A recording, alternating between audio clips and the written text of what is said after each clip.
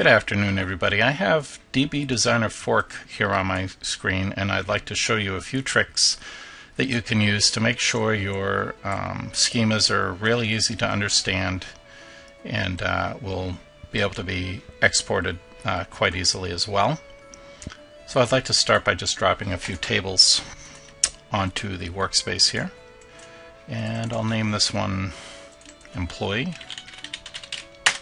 And as soon as I enter employee and hit enter, what happens is this tool automatically creates a primary key. Just puts the letters I and D right before the name of the entity. You can change that and hit enter. And as soon as you do that, it assumes you're entering the primary key. So it chooses integer, not null, and auto increment. So now we don't have to worry about that anymore. First name, which is usually maybe a varchar. And last name, we'll also put varchar. I'm not going to put too many attributes here, just for the sake of time. And let's see, where was it? Here it is. And click OK. And we'll make another entity. And let's call this uh, children. Okay. And it'll automatically create my primary key for this table since every table should have a primary key. I'm not going to place my foreign key here yet because DB Designer Fork will automatically create my foreign key for me. So I'll put first name again and last name. I don't know anybody with a first name or last name that's 45 characters long, but just in case, it'll be there. Now, I know that I need a foreign key between employee and children. In fact, I probably want to keep this lowercase. Okay. And I'll select the 1 to n non-identifying relation. So click that, then I'll click my parent table, I'll click my child table, and it'll create the relation. Now I don't want these indices to show up. I don't want to see the name of this relation show up right here. And this diamond isn't very helpful. Um, it is a certain type of notation, but the notation I've been using in class is the crow's foot notation. So I want to come up to display, click uh, go into notation, and change it to crow's foot. And that's something that should be recognizable for my students, which I've been showing in class.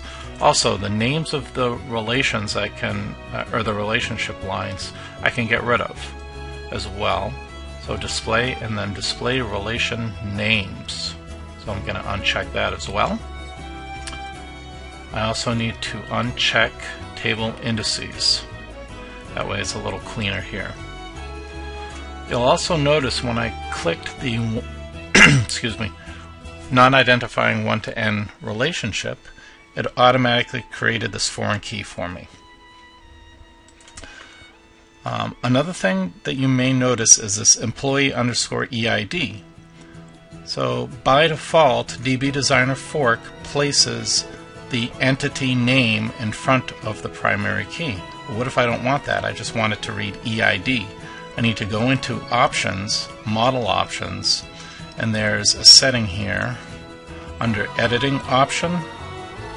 It says Add Source Table Name to Foreign Key Columns Names. I want to uncheck this one.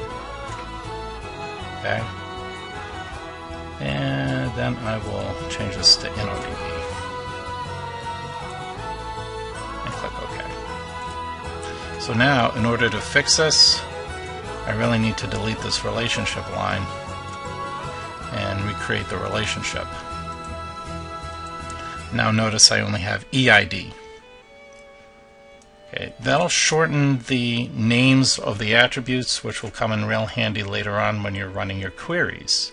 After you instantiate the database or physically create the database, uh, you're not going to want to type in very long attribute names or field names when you're typing in your queries. So keep them short, keep them very straightforward.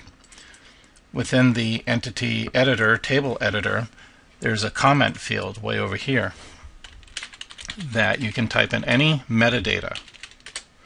So FN, that's first name, not function.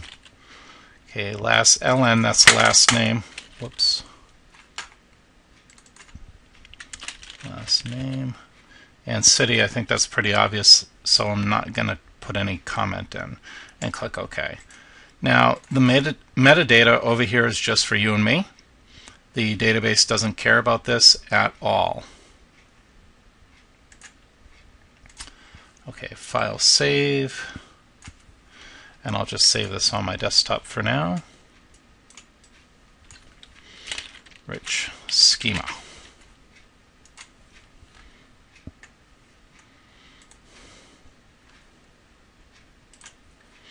Okay, so that is all for for now. The next in the next uh, video, I'm going to show you how to export this and then physically create the database using MySQL. Thank you, and we'll see you soon.